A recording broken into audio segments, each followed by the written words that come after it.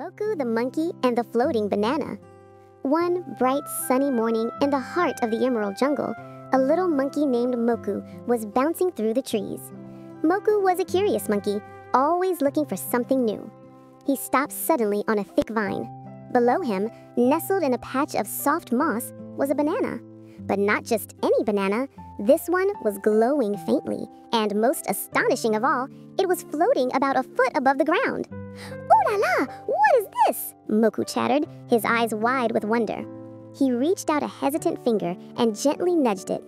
The banana bobbed, spun a little, and stayed right where it was. A little bit of magic. Just then, Dina the parrot swooped down and landed on a branch beside him. Dina loved anything sparkly and mysterious. Look, Dina! A flying fruit! Moku giggled. Dina's colorful feathers ruffled with excitement. It's magic, Moku! It must be the great banana spirit granting us a wish, she squawked, clapping her wings together. Quick! Wish for a new nest made of gold! Moku thought about wishing for an endless supply of mangoes, but the banana just kept floating, silent and still.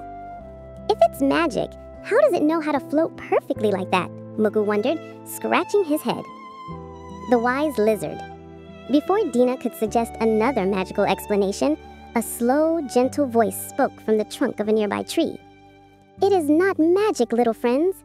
It is science. It was Raku the lizard, the oldest and wisest creature in the jungle. Raku was soaking up the sun, his smooth scales looking like polished emeralds. Moku and Dina quickly scrambled down to the base of the tree.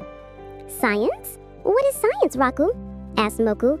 Raku chuckled, a dry, papery sound. Science is simply understanding how the